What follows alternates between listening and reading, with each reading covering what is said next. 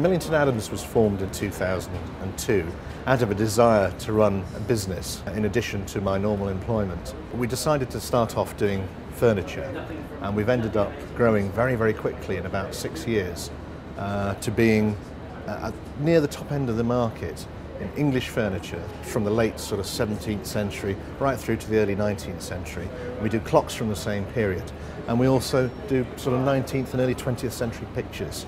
So effectively a, a nice mixture that would sort of uh, dress or furnish a room in somebody's house. We are different in a lot of ways, in fact that we're a virtual dealer. We deal basically from our website. Our website's our shop window and that shop window gives us the advantage that we have very, very low overheads.